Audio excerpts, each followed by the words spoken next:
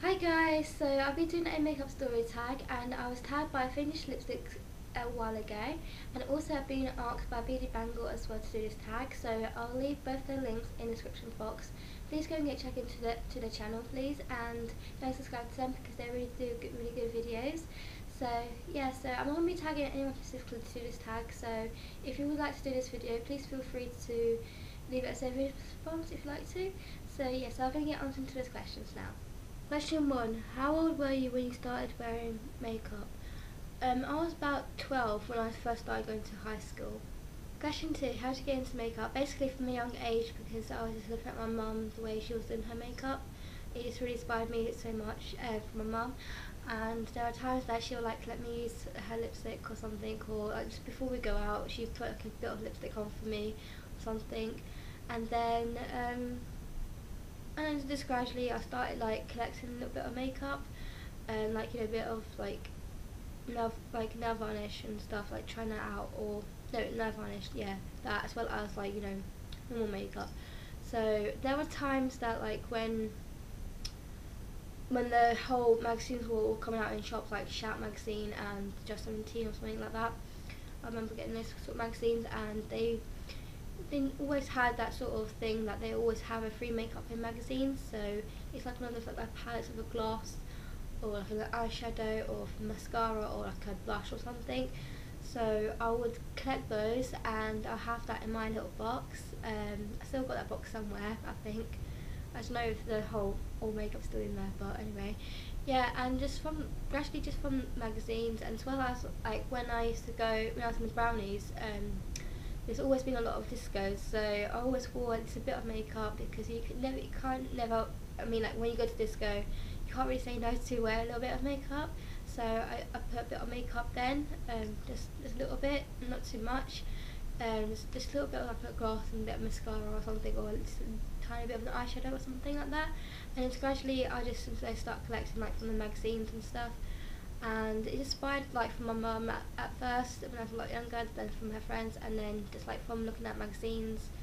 And I just like when I look at the magazines when I was a lot younger, I was like thinking, oh, I want to be just like that, like to wear makeup and stuff. So that's how basically just got. That's how I got into makeup basically. And also when I, okay, when I when I said like the whole collective box thing of makeup, I when I was a lot younger back then, I used to like experiment, uh, you know, use those sort of makeup with friends and like doing makeovers when I was a lot, lot younger and and yeah just like you know just, just like that basically so that's how I got into makeup basically. What are some of your favourite brands? MAC, ELF, Benefit even though I don't have a lot in Benefit but I really do like Benefit. Um, Sleek, Barry M, Maybelline. Number five, if you could only wear four products on your face, what would they be? Definitely concealer, a powder, mascara and lip gloss. Number six, what's your favourite thing about makeup? Just experimenting with different looks and like being really creative. Number seven, um, what do you think about drugstore makeup via high-end makeup? Well, I use both um, high-end makeup and drugstore makeup, but I just do think there's a difference. Sometimes um, drugstore is a lot good as a high-end, but it just depends on a person's budget, to be honest. One tip of advice you'll give for a beginner. Just don't over just don't overdo it. Like just start with like one item at a time like if it's like to be lipstick or a blush or mascara just anything like that and then just gradually you can just, just start build, building it all up and you know just by using other different products to your face. So yeah. Um, number nine what's one makeup trend that you never understood? Um, probably just like how people just draw on their eyebrows. I mean, I know you just just do like that, but like like some people just like really overdo it and just to make it like a very big thing. I don't really understand that, to be honest. Ten. What do you think about the beauty community on YouTube?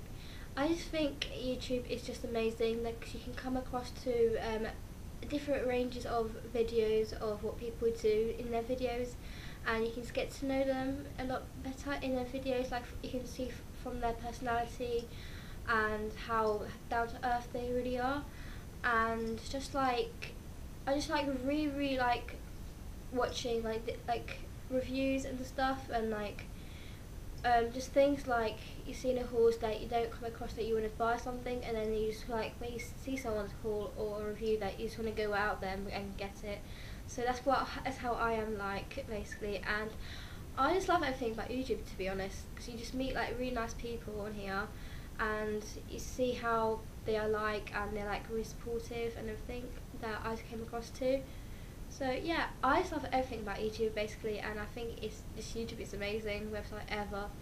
So yeah, um, that that's all I can really say. So I hope you like this video, and I'll see you guys in the next video. I do. Bye guys.